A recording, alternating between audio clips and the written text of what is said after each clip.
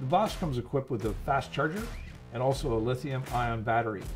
I've plugged this charger in just to show you uh, what happens. Right here you'll notice the lights and I'm going to lean this up so that you can see that currently right now it'll probably be green. And what's happening is the charger's been plugged in, but this battery is not snapped in. So when you snap the battery in,